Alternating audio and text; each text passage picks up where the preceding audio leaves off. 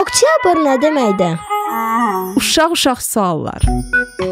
İndiki vəziyyətinə gələnə qədər işlətdiyimiz təqvim bir neçə dəfə dəyişib. Sonradan Yulian adlandırılacaq yeni bir təqvimi isə Qay Yuli Sezar təsdiq edib. Həmin təqvimə görə il martda başlayırdı. Bu qayda ilə hesablayanda isə oktyabr 8-ci ay olurdu. Elə oktyabr sözü də latın dilindəki okta, yəni 8 sözündən əmələ gəlib.